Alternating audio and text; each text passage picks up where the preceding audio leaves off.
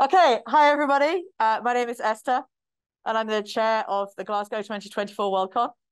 Uh, before John starts like going through all of the slides, which he's going through a lot faster than I thought, because Shut you know he just like you know fell on one. Um, I thought it'd be really cool if I showed you something. So I'm going to stand up for a moment. Don't worry, it's it. There's only going to be minimal nudity. Why are you all standing up? What is wrong with you guys? okay, so it's very important to be very invested in your Worldcon, and I realize that most of you probably haven't seen this, so I thought I'd just show you something, which is my arm. Wow. No more, no more taking my clothes off, I promise. Okay. Okay, so for online people, uh, I have a tattoo of the logo designed by Sarah Felix on my arm because some things are important in life. You can go clicky if you want. Oh, that'd be amazing. Okay, so our venue remains the SEC Glasgow. We've hosted Worldcon here twice before. From the 8th to the 12th of August 2024. And there it is looking completely beautiful, um, including the River Clyde. I'll be talking about the River Clyde a bit more later because it's an important location for our Worldcon. So importantly, right now, this is the this is kind of the convention area. We're going to be using all of Hall 4. You can see that in the middle. It says SEC Centre Hall 4. On the right-hand side to that, you can see Hall 5. That's going to be a lockable area where we're going to have our art show and our dealers. And then we have everything else the sun touches, apart from the round thing. That's a massive venue. So if anybody wants to like sponsor Beyonce at our convention, she'll be in there. Otherwise, we're not using that. Then we have the SEC Armadillo. That's our 3,400 pe people auditorium, um, which has recently again upgraded its um, hearing loops and has a whole load of accessible stuff in it for people who have trouble hearing. And we will also be using the hotel area that you see on the left-hand side there, um, which is formerly the Moat House, now the Crowne Plaza. And uh, our programming will both be in both of those areas. So the big sort of central area and the hotel itself, which is kind of stacked. Now, I know most of you are very interested about where we're going to host the business meeting. Sure, says somebody unenthusiastically. So we've had a we've had a long term plan for the business meeting. I mentioned the Clyde earlier. So we're going to get Thanks. we're going to get a whole load of those um those kind of uh big metal round things you know that you use uh those drums right? Barrels. Thank you. They're going to be empty uh because you're going to have to work on this themselves. It's important to be inventive. You're going to lash them together stick a big raft on it. I'm going to have a big cannon. We've we've actually got the budget for the cannon and i am going to fire people from the cannon onto the raft and that's the business meeting Good job, everyone. There is there is one small problem, and uh, I will repeat what my team are about to say. But what is the problem? No trash in the Clyde. No trash in the Clyde. So if you ever see me use the hashtag NTITC, some of you have read your questionnaire, so you may notice it is in the questionnaire. Um, no trash in the Clyde. So we're not actually allowed to throw trash in the Clyde. I know some of you can be, or obviously not over you, but you know, people can be in- incredibly toxic. Um, so we need to be a little bit careful about that. More seriously, we will be hosting the business meeting in a hotel that's on the other side of this campus that's not actually shown. It's about 300 meters away. It's all flat access. Um, there is a set of lights, traffic lights that you have to cross, but again, flat pavements going across. And that area is called the Village. So, and that is a that is a hotel. So if you are very much into the business meeting when we open hotels, the Village is the place to be. So Which direction is that? it is to uh, the question was which direction it is. It is to the the south of the map that you're looking at. A, a reminder that So- people are not asking questions from the Yeah. audience. If you have a question, Okay. write it down. So you can actually now see this as a round circle on the map. So we've got we've contracted with eight hotels on site, 21 hotels in total. So 21 hotels across uh, Glasgow. I nearly said Scotland there, but Glasgow. Um, we've got 2,000 rooms reserved, and the hotels that we have on site. Again, some of you will know these, some of you you won't. We've put the chains in just so that you know. There's the Campanile. That's a sort of mid-range budget hotel. We've got two Marriotts on site now. They're both completely brand new. The Courtyard has got very soft beds. Uh, the Crowne Plaza, which was formerly the Moat House, which is the central convention hotel. um, which will have the fan. No, it won't have the fan bar. That's changed. Um, the Hilton Garden Inn, the Moxy, which is uh, a kind of budget Marriott, um, also very nice. Uh, uh, it's got uh, it's got these weird underbed seating lights. So when you get into bed, the light lights up so you can see your feet when you're going to the toilet, and then it turns off after about 60 seconds. That's weird but fun. The Premier Inn, which is a budget hotel. The Radisson Red, which is a top end hotel, which has beautiful bathrooms. Um, and the, the aforementioned village, which I named before. One of the great things about the village is that we're also hoping to have our queer space over there. Um, and they've actually themed it after copyright protected the village people. So there's a whole load of like real, real kind of cool photos in there, and, and that's very awesome. Okay. So hotel bookings. So if you ticked when you bought your membership, because you all, all bought your memberships, right? Yes. Brilliant. Uh, again, for those who are online, many people said yes, but some people didn't. So accessibility bookings are still opening, open. Um, this looks like a typo, but actually isn't. If you think you are eligible for an accessibility room or you have any kind of accessibility need, go back and check your registration and see if you tick to the box that said yes. We've seen quite a lot of people on Facebook over the last couple of days saying, why haven't I been contacted about a room? And then we've said, do you have a membership? And they've said, no. Magically, we should have contacted them. You can also email registration at Glasgow 2024. That's a, again, that is actually a typo. It should it should be an at there, but come and ask me and I'll give you the email. Um, and those bookings are now open. We're expecting the rest of hotel bookings to open at the end of January. Okay, so again, if you are a staff member, you will get to book slightly beforehand, but end of January for everybody else. And that will be through our partner, the Glasgow Convention Bureau. As I said, we've got 21 hotels. They range from 120 pounds to 322 pounds, with the average being about 150. Okay, that includes breakfast, so you can eat all the haggis that you want. Okay. Uh, the haggis is a protected species. We won't be having a drone display because the haggis are migrating. Okay. So uh, we will have flexible bookings. So again, you can book now and then you can pay at the hotel. That's a pretty standard, but again, do check when you're making your booking. Um, and there are no penalty cancellation cancellation terms. The 2,000 rooms are within two miles of the hotel. Uh, sorry, of the 2,000. I'm gonna I'm gonna get my vice vice chair for this. They're within two miles of the venue. And Glasgow is a sort of it's a slightly weird shape. It's basically sort of on an angle. So you've got the River Clyde. I've mentioned the Clyde, right? The raft, you know, the, the business meeting. It, it heads up it, and it becomes quite steep, but in general, it has very good tra public transport throughout the entire city. Um, you can use Uber. Um, we have a different version of Lyft. Um, public transport itself is very good. There are buses. Uh, there is a train station that is directly outside of the of the convention center. It's imaginatively called convention center, so you know where you're going. Um, and so we've tried where possible to make these hotels within walking distance. The eight hotels that we've mentioned, they are all within 400 meters of the convention center itself.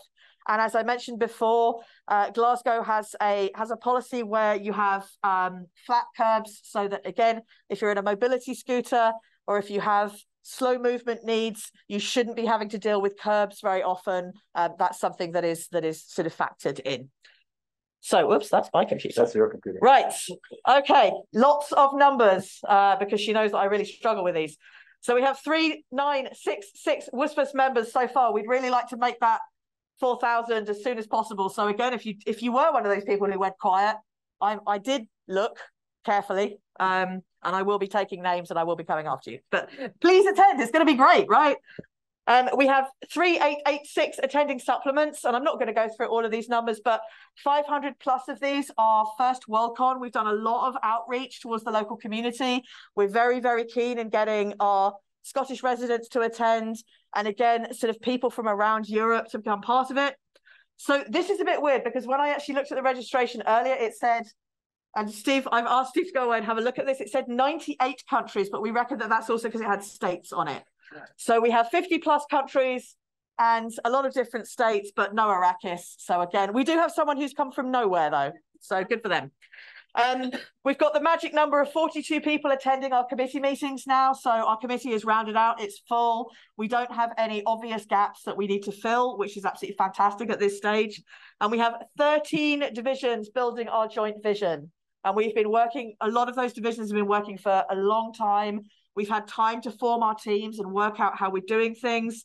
Um, some people have been working for sort of six or seven years now.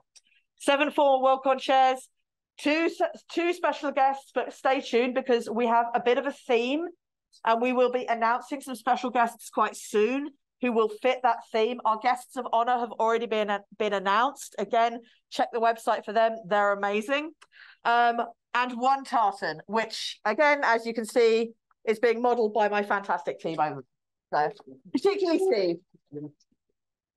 It's absolutely beautiful. Just a reminder, you could be writing questions on cards right now. You could be writing questions on cards. So again, just to troll me, uh, Marguerite put in 250 days to go. So I, I'm not going to go through all of the rates because there are five slides of rates.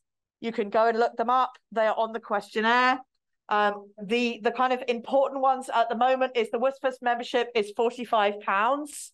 Adult attending is currently 210. And then we have various different discounts. We've just announced our online rates. It is only £35 if you want to attend without the WSFS attending, without the WSFS rate. And it is £75 bundled, which gets you your gets you your voting, gets you your Hugo package. So that is ridiculously cheap. Um, and we will be selling day tickets, less relevant to this to, to this kind of crowd, but again, from the first of March, we'll be uh, selling day tickets for for people who want to attend on the day. More rates, more rates, more rates. Okay, put your hand up if you've volunteered already or if you've done something for my convention. Everybody else give these people a round of applause. Great job. It's also kind of notable that it is about half the room. Like, be feel proud, right? Feel proud of what you just did because that is so important. And I know I've kind of said this before, but I think it is actually a, a really important thing to say is that even if you only give any convention an hour, that's an hour that we need and that is valued. And again, like it, it's really, really important to all of the conventions here. So, you know, I mean, we're convention runners, we know this, right? Okay, here are some things you can do. You can stand at the front of the business meeting. You can wear t-shirts. You can get fan art made of you. Vincent behind us here is modeling one of the t-shirts. You can become a large stuffed armadillo that is in fact bigger than my good self. you can become a panda. Um, this was a, an amazing piece of fan art that was gifted to us uh, from Chengdu. It weighed 35 kilograms. It was ridiculously heavy. Um, unfortunately, it did get damaged in transit, but we are reframing it and you'll be able to see it in the art show. It is absolutely incredible. Um, again, it is it is about the size of me, or or it was, and you know I'm quite short, but I'm not that short. Um, and you can also do things like become a piece of Lego, or again get involved in our amazing. Uh, we call our volunteers armadillos after the convention center auditorium, um, so you can become an armadillo. So so do volunteer. And then finally, before you all start asking me difficult questions, um, here is where you can contact us. Again, get in touch keep following our socials. We have a community page on Facebook as well as our sort of standard announcement page. And that is ramping up at the moment. So we are doing a lot of informational posts about what's going on, things that you might need to know. So, right, questions. Great. I can't wait. Yes. Okay, so we do have a few questions. Uh, let's start with one of them from online. Uh, will you be having special rates for Africa? So we do not have any current rates for individual places, but we are looking at our bursaries at the moment. And we are also going to be hosting the Nommo Awards, which are um, a specific African literature award. So we're talking to Geoff Ryman about that at the moment. It's also something that we're thinking about when we get our participants in. So not specific rates, however, we are thinking about that in in different ways. So so that's a yes but no. Okay. And will dorm rooms be available again? Yes, we are trying to look at those at the moment. We haven't confirmed those in the 21 hotels, but we are trying to contract. There was a um, there was a sort of change of circumstances in Scotland last year where there was a, a massive crunch on getting rooms, which meant that they originally didn't want to talk to us about them. We are now in conversation with the university about dorms. So the answer to that is we hope so. Um, we are trying to confirm that. Thank you. A, a couple of very specific questions. Thank you. Uh, this will really test your knowledge. Uh, you've told them where the business meeting is. Now people want to know where other things are. Are you going to have a game room? Are you going to have a film room? Okay, so we're not going to have a film room. We will be having a games area. I kind of mentioned that we had a theme. Um, I teach games. I teach board games. I teach role playing games. There's a real big anniversary coming up next year. It's the same, yeah. It's it's it's it's a big one, and it's in a good anniversary for myself as well, which is why I can always remember the date. Um. So yeah, so no film room. Uh, definitely games area. The games area will probably be in one of the main halls again, so that we've got space for it. And literally watch this space for that one. Um, another specific question. If you can answer this, I'll be very impressed. Mhm. Uh, is there a site for dialysis person to do dialysis near the hotel locations? I do not know the answer to that question. But um, Yeah. I'm sure that uh, with Google and maybe some help from Yeah. your excellent team, we can Yeah. find that answer out. Yeah, and I will I will pass that one on to member services because I know we've been asked that one before, so I should have known the I, answer to it. I, I So- suggest maybe they could contact the access team over there. Again, if you email accessibility at glasgow2024.org, they'll be able to start to help you with that. And we had a big post about that recently. Well, good. But yeah, good question. Uh, we have a couple of questions that we're going to ask of all WorldCons by request. You want to go? Sure. Uh, what is the human rights situation in your country or region? Okay, so we've addressed some of this in the questionnaire. Um, obviously, it's a difficult question for every, anyone to answer because when you live in a country, then you are, in some senses, a little bit uh, tone deaf to what is happening in your own country. One of the questions that we have been asked before is about uh, trans rights. We actually, on our committee, sorry, not on the committee, on our team, um, the first trans, the first trans counsellor in Glasgow is on our team, so is one of the people who's been speaking to us and advising us. So in that respect, we can actually say we're actually ahead of the curve for the rest of the UK, and it is something that we've made statements about. There is also a statement about Black Lives on our um on our website. So yeah, I'm not. I'm, I don't want to cast aspersions at other places, but I'd say okay, but everybody's got issues. So Uh, what are your plans for a hybrid convention and will you need online volunteers? Okay, we definitely need volunteers and we definitely need on, online volunteers. The we announced our hybrid uh our hybrid plan, plans recently.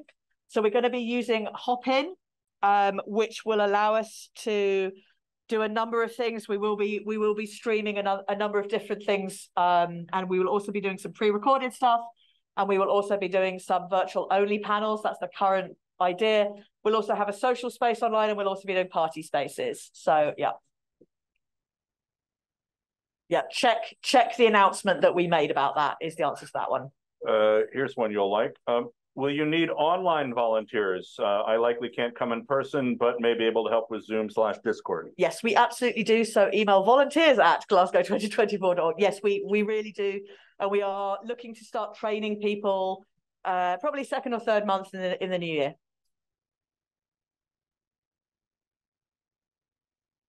Okay. Steve Uh, has reminded me that you need to be a WSFS member to book a hotel room. So that was that was my reminder.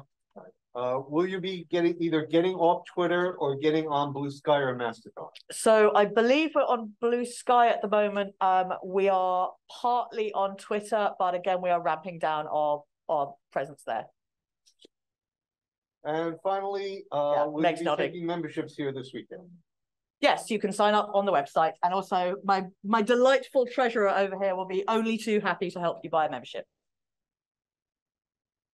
Uh, unless there are further questions, we thank you for your uh, presentation. Thank you very much. Thank you.